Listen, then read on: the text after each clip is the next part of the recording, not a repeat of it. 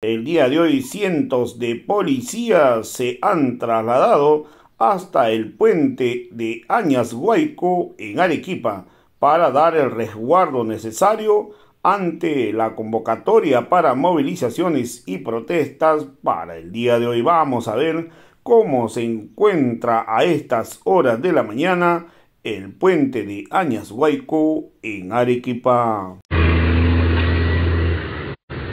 Siempre con la verdad. ¿Qué tal amigos de la multiplataforma? amigos de la multiplataforma de Radio Yarabí?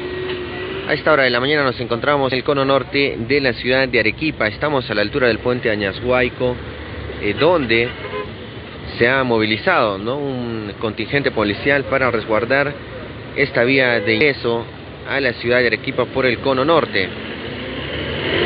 Para el día de hoy, martes 4 de abril, se han convocado protestas desde el Comité de Lucha Regional de Arequipa, protestas en contra del gobierno de Dina Boluarte. Anteriormente, en la jornada de, que se realizó en Arequipa, el puente Añashuayco fue punto de concentración principalmente del gremio de construcción civil, quienes desde muy temprano ya estaban concentrando en este sector.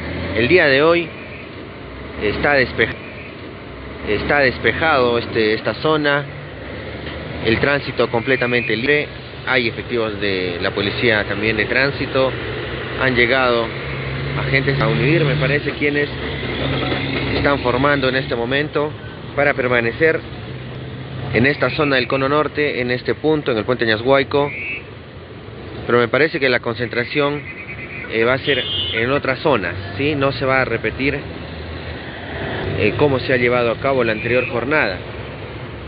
Según lo que nos han indicado, ah, desde las 9 de la mañana se estarían concentrando en la Plaza de España, esto en el cercado de Arequipa, los, gremios que van a participar de estas movilizaciones, de estas marchas convocadas para el día de hoy.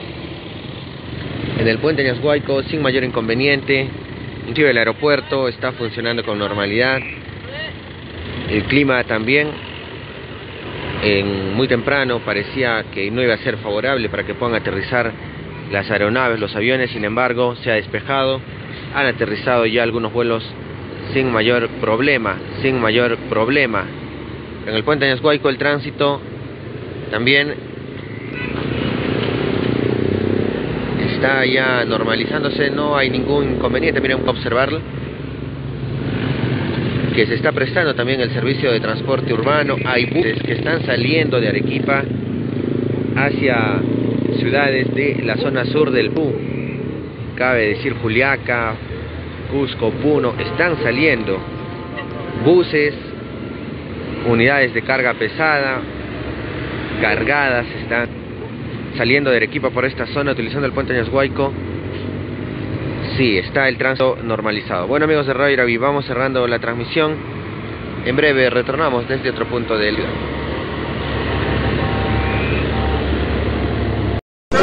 ¡Victoria! ¡Planilla para todos! ¡Ahora! ¡Ahora! ¡Regularización de la planilla para todos! ¡Ahora! ¡Ahora! ¡Ley de salud y seguridad en el trabajo! ¡Ahora! ¡Ahora! ¡Ley de salud y seguridad en el trabajo! ¡Ahora! ¡Ahora! ¡Armas de enfrentarse, compañeros! ¡Ey! ¡Ey! ¡Ey! ¡Ey! ¡Ey! ¡Ey! ¡Ey! ¡Resignaciones! ¡Ahora! ¡Ahora!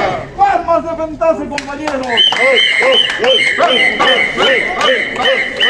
Muy buenos días a todos ustedes amigos de Radio Victoria para indicarles a estas horas de la mañana nos encontramos aquí en los exteriores de la UGEL Sur donde los trabajadores administrativos han llegado y donde realizan plantón y protesta. Manifiestan que no van a dejar ingresar al personal.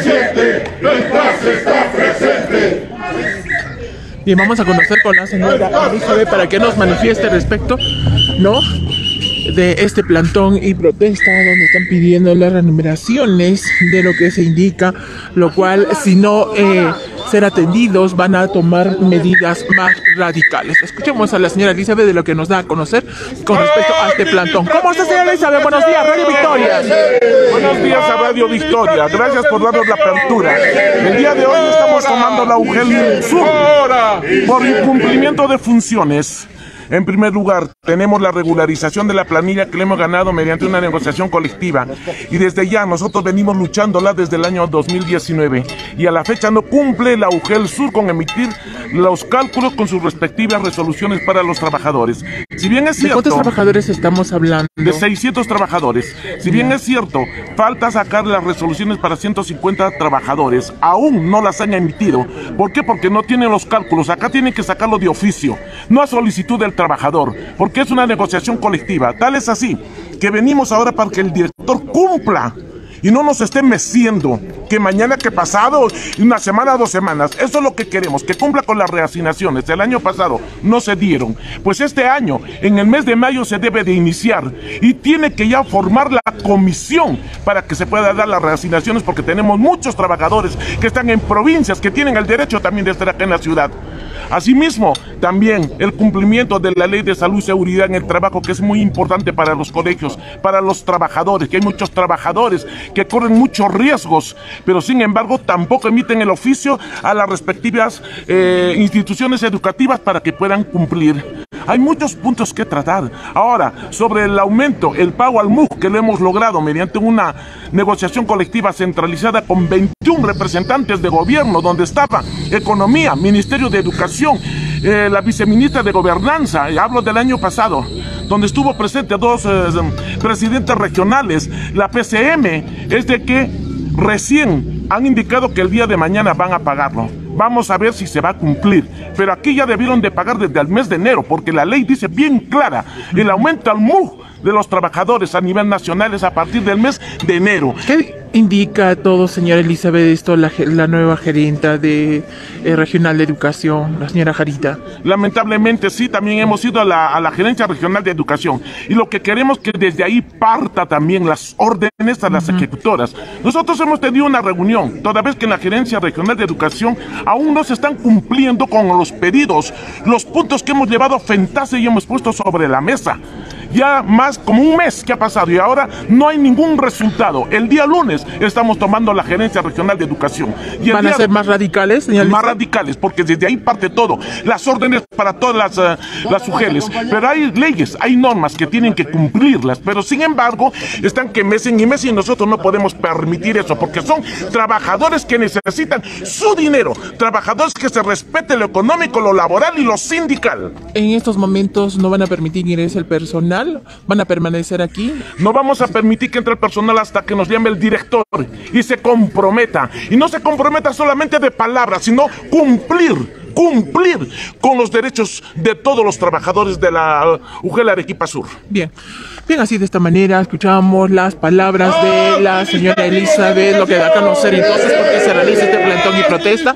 No van a permitir el día de hoy que ingrese el personal a la UGEL Sur, como lo están indicando. Y el día lunes van a hacer también una protesta en la Gerencia Regional de Educación, porque realmente pues indican de que no son escuchados por la autoridad y lo cual ellos eh, man- indican no ser más radicales.